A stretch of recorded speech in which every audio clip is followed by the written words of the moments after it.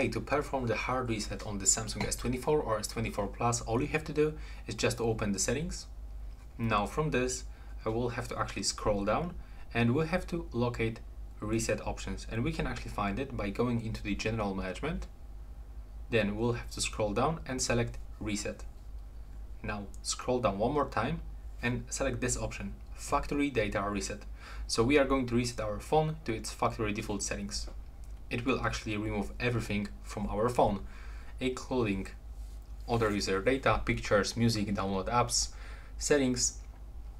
It's also highly recommended to get rid of your SD card or the pen drive if you plug something right here into your storage and also remove your SIM card from the phone because you will erase almost everything.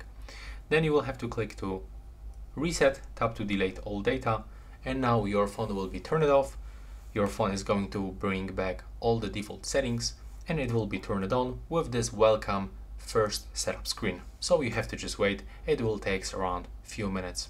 Right now please subscribe